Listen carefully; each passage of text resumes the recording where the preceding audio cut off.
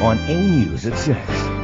As one problem begins to melt away, another one is being exposed. And I think it needs to be cleaned up and people need to start taking care of it. The city begins its spring thaw crackdown. Be very wary.